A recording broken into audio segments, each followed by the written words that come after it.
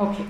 So uh, uh, until now in the course, we saw the features of the uh, transmitter, we saw the features of the receiver, we saw uh, some features how to quantify the uh, data quality, and last time we also talked about how to arrive at the receiver sensitivity, the power required, the average power required to achieve a certain BER uh, and for a given bit rate and from that we can calculate what should be the transmitted power and we also uh, saw the features of EDFA in terms of uh, what is the noise added by the EDFA.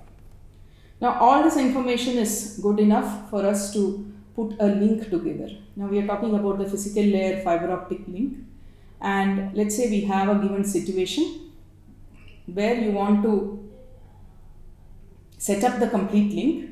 You would like to know what transmitter to use, what should be the type of the receiver to be used, what is the length of the fiber that can be used, and uh, do the does the link require an amplifier? Uh, what is the lo longest length uh, that the fiber uh, for that the link can support, and so on, right? So we are trying to from scratch. We are trying to uh, design a fiber optic link. Now, uh, the two things uh, which you need to do in sequence when you are designing a link is uh, one is the loss budgeting and the second is the rise time budgeting. Okay, so you do the loss budget, you do the rise time budget, and you are done. That's how the link gets designed. Okay, now let's see how to do this one by one.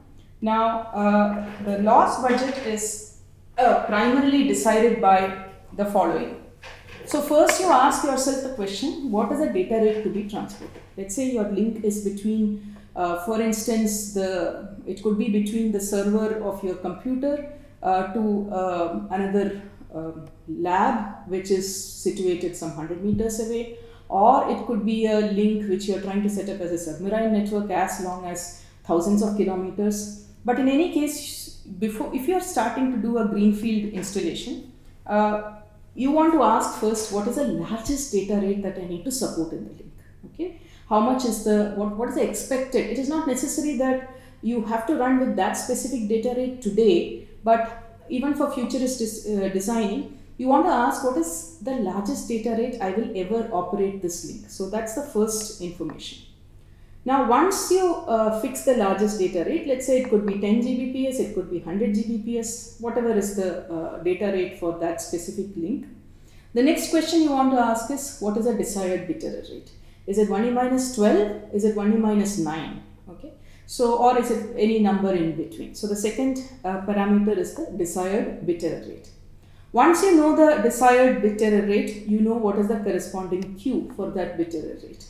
Once you know the Q, you can find out what is the receiver sensitivity that can support that specific Q. So this we have discussed when we were uh, discussing data quality, right? So you have these numbers. So you essentially start from uh, designing it backward. So first you find out what are the specifications that you need at the receiver.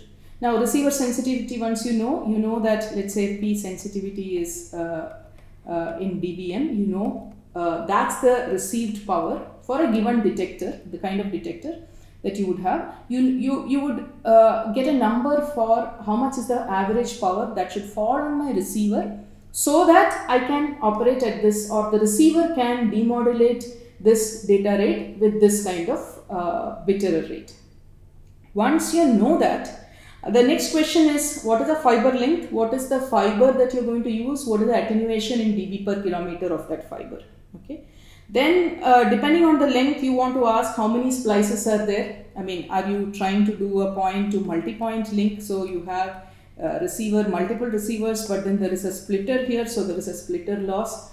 Um, or uh, you could have splices somewhere or at some point you may, you you can uh, think that okay you can you can budget for a certain number of splice cuts fiber cuts let's say uh, I will make a link which will, uh, let's say, uh, can tolerate up to 100 cuts, which means that you should tolerate up to 100 uh, times splice loss and so on. So once you have uh, uh, reached the fiber length, the next is transmitter. So you start with the receiver.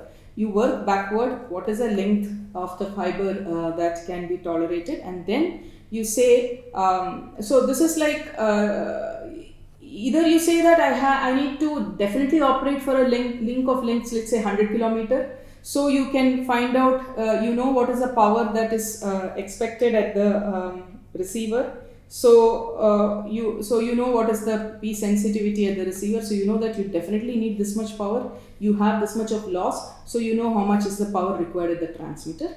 Or you say that I have a transmitter which can operate only with this kind of power level. So what is the length of the fiber that can be tolerated? Either way, right? So this is how you go about doing the loss budget. Now in the, the second important uh, uh, budgeting that needs to be done is the rise time budget. So we'll spend a couple of minutes in understanding what this rise time uh, are we talking about. What is rise time?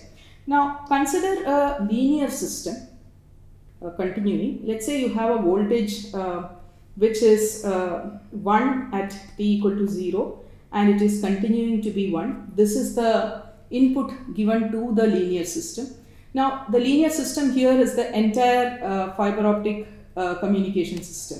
This will, the, right now what I'm representing in this linear system is both transmitter, fiber and uh, receiver all together. Okay. The point that we are trying to make is the transmitter, fiber and the receiver all together will pose something like a low pass response we are trying to see that if I give a logical 1 to 0 transition into my system, the system will take some time to respond. It is behaving like a low pass filter. And let's say the system response is uh, shown by this line. And TR is the time taken, the rise time, which is conventionally defined as the time taken for the uh, signal to grow from 10% uh, to 90% of the peak value. Okay, so you're trying to generalize and give a big picture of how uh, we go about doing rise times. So if I model the entire system as a, a linear system which is having a low pass response, uh, what it means is that I can write the V out just like a low pass filter. So I can uh, do a simple RC circuit model I say that there is an equivalent capacitance and there is an equivalent resistance for which represents the entire RC time constant of the link.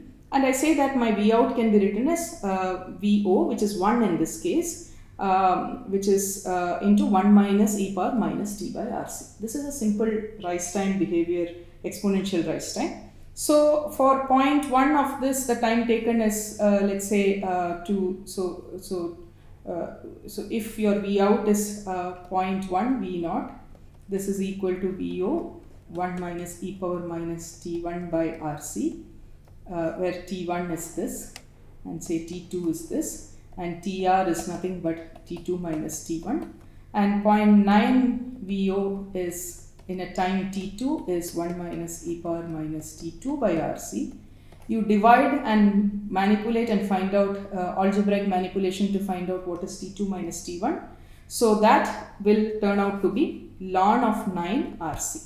So you just take the ratio, then you uh, take the logarithm on both sides, you will get ln of 9 uh, RC which is 2.2 RC. It's the rise time of a um, system like this which has a sluggish uh, response.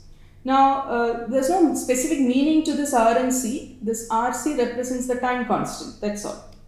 Now, uh, how do you connect bandwidth to uh, rise time? So, this is a low pass filter kind of a system and for such a system, the transfer function is uh, 1 by 1 plus j 2 pi f RC. So, the mod of uh, this transfer function you can find out as 1 by 1 plus 4 pi square f square r square c square right? 1 plus j uh, 2 pi f r c into 1 minus j complex conjugate of this. Now bandwidth corresponds to the frequency for which this mod of uh, the transfer function becomes half right? So uh, a system with this kind of rise time is supposed to have an h of f uh, the, the mod of h of f is uh, 1 by square root of this of course right so mod of uh, HFF given by this, which is quadratic. The uh, bandwidth is the frequency at which this, uh, so you have something, you will have something like this. The frequency at which your mod of HFF goes to half and that would correspond to 1 by 2 pi RC. This is similar to that of a low pass filter. Now, uh, my rise time I can relate to the bandwidth as TR is equal to, we already said it is 2.2 RC. Now, I can represent this to uh, RC as 1 divided by 2 pi F. So, this is 2 pi delta F.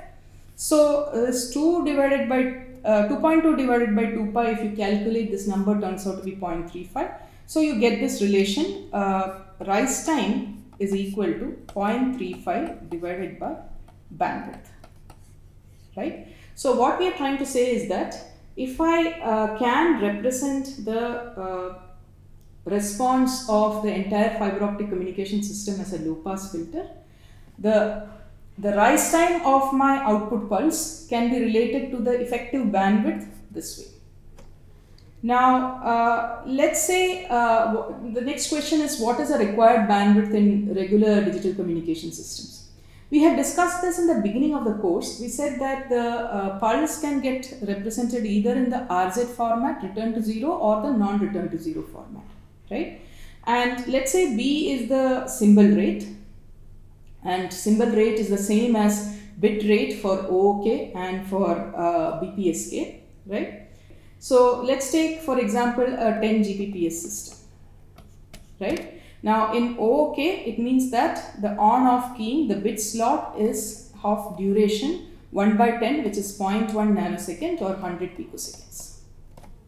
Now to support signaling at this rate, the question we are asking is what is the required bandwidth of my entire chain, okay, the entire system. If I can represent the entire fiber optic communication system as one box, what's the bandwidth of that box? Or if I can represent it as one low pass filter, What's the bandwidth of that filter? Now, turns out that to be able to support a NRZ format, the bandwidth required is only half of the bit rate. Whereas uh, for an RZ format, the bandwidth required is at least the bit rate. Larger value is okay, but if the system has to respond to an NRZ format at 10 Gbps, the system requires a bandwidth. The low pass filter should have a bandwidth of at least, at least b by 2 which means 5 gigahertz. Whereas if it is an RZ format it is actually 10 gigahertz. Okay?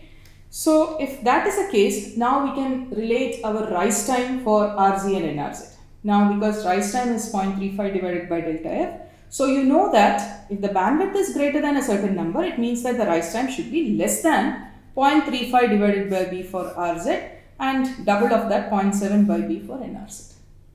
So essentially what we are trying to say is that if you given a, a transition like this to my uh, communication system, the optical communication system, the rise time posed by the uh, fiber, the transmitter, the receiver, the entire system should be less than this rise time which is the time taken for the signal to rise from 10% to 90%, that should be less than 0.35 divided by 0.35 by bandwidth, which is 0.35 divided by, in this case, our uh, bandwidth, uh, so, uh, sorry, uh, 0.35 divided by the symbol rate, which is 10 Gbps, which is 0.035 uh, nanoseconds, which is 35 picoseconds in case of the total rise time should be less than 35 picosecond in case of uh, RZ if we were to support RZ format and it should be less than 70 picoseconds for NRZ format.